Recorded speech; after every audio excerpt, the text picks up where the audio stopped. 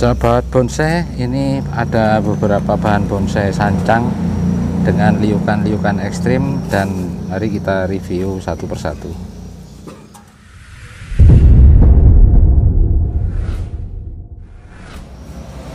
Sahabat bonsai, ini adalah bahan yang pertama yaitu bahan bonsai sancang dengan hasil program agak ekstrim di sini dengan liukan-liukannya. Gerak dasar dan juga sudah mendapatkan dasaran untuk bagian perantingan. Ukurannya di sini sekitar 25 cm mungkin para sahabat bonsai sudah tahu ada event besar di Pulau Bali yaitu event The Mac yang hanya memperlombakan bahan-bahan 30 cm ke bawah. Bahan ini bisa dijadikan rekomendasi untuk bahan The Mac dengan ukuran dan liukan yang sebesar ini mungkin sudah ideal untuk program 30 cm ke bawah kita lihat lebih detail.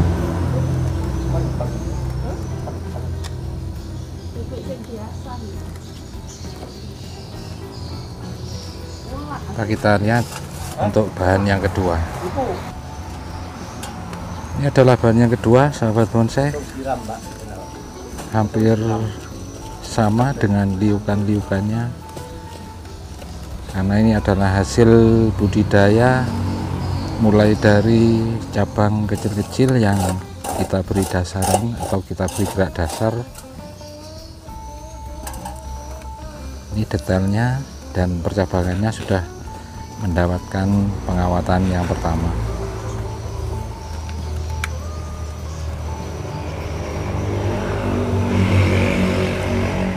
Untuk bahan yang ketiga seperti ini penampakannya.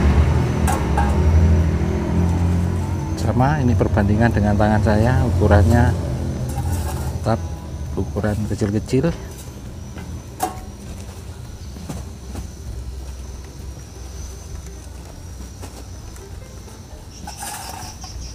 Direkomendasikan untuk program The Mac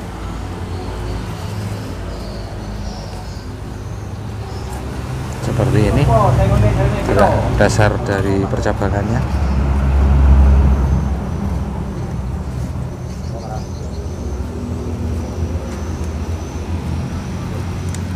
Dari belakang.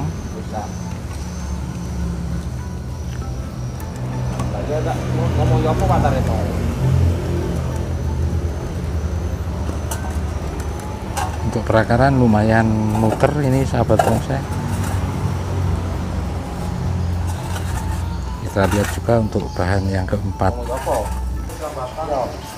Dan ini yang keempat seperti ini untuk akar-akar sudah lumayan besar. Untuk percabangannya seperti ini detailnya. Sudah ada dasaran juga. Ini sudah ada tunas-tunas juga. Untuk batang utama karakter tuanya sudah nampak sahabat bonsai tinggal nunggu muncul tunas tunas baru untuk mendapatkan perawatan selanjutnya.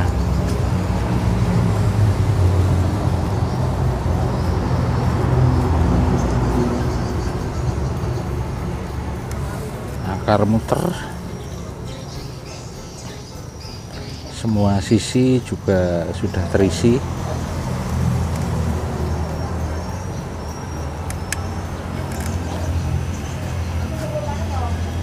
Coba kita lihat untuk bahan yang keenam.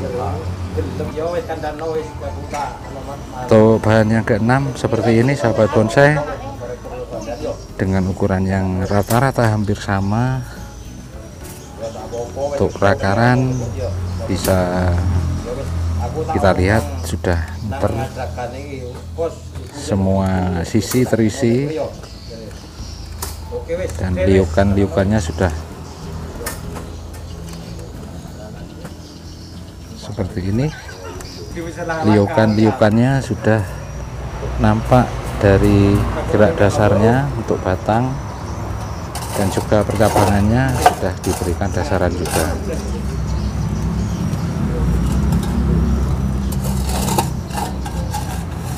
Jadi itulah manfaat kita memprogram bahan bonsai rancang dimulai sejak dia masih kecil. Hasilnya bisa kita lihat juga lumayan. Kalau misalnya ini kita biarkan liar dia akan cenderung untuk lurus dan perakaran dia akan tunjang ke bawah. Seperti itu sahabat bonsai. Untuk bahan yang ketujuh. Seperti ini penampakannya dengan liukan yang sangat ekstrim sangat eksotis sekali untuk kita jadikan bahan demek. Sebenarnya untuk bahan-bahan dengan gaya seperti ini akar tidak terlalu terfokus tetapi kami di sini tetap memprogramnya untuk menunjang performa dari bahan bonsai rancang ini. Sama sudah diberikan dasaran untuk mahkotanya. Background. Kita lihat. Seperti ini.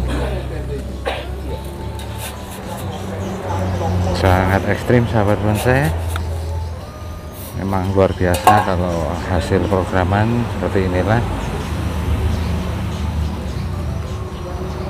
karya seni hasil budidaya dari para petani bonsai khususnya di Kabupaten Lumajang. Kita lihat bahan yang ke-8 untuk yang ke-8 ini hasil pecah batang. Dan batang utamanya juga diliukkan.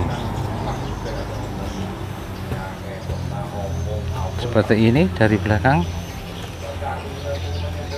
sama dengan gaya-gaya ekstrim. Perakaran juga ngisi semua.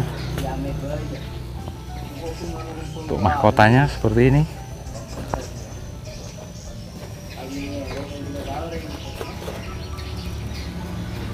Sangat menarik sahabat bonsai untuk para pencinta tanaman kerdil dan juga pencinta bonsai ukuran mami dan semur.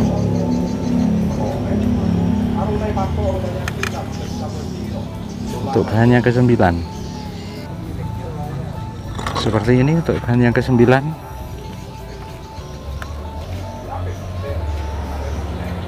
Kita lihat detailnya.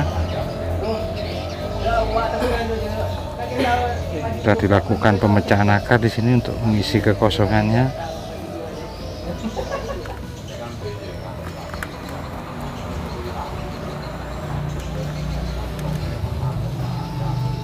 dengan liukan-liukan ekstrim seperti ini.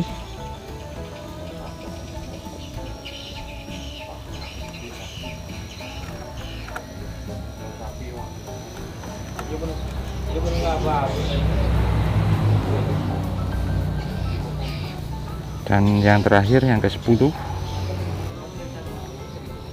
seperti ini bahannya untuk yang ke 10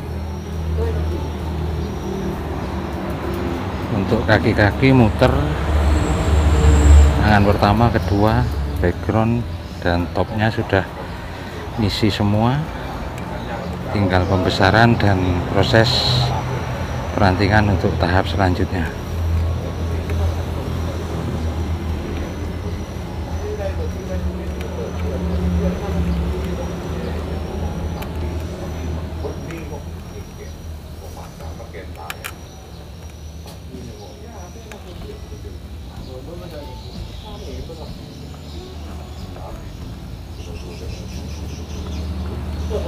jadi seperti itu sahabat bonsai hasil pemrograman sancang dengan ukuran kecil-kecil. Utamanya sekarang yang lagi viral adalah untuk program temek yaitu kontes bonsai dengan ukuran maksimal 30 cm dan bahan sancang bisa jadi rekomendasi jika para sahabat bonsai suka dengan program The Mac yaitu program bonsai 30 cm ke bawah. Jadi seperti itu sahabat bonsai sekian dulu videonya. Lain waktu kita sambung jangan lupa like, comment, share, serta subscribe untuk pengembangan channel ini tentunya seputar tanaman bonsai. Terima kasih sudah menonton video ini. Salam satu hobi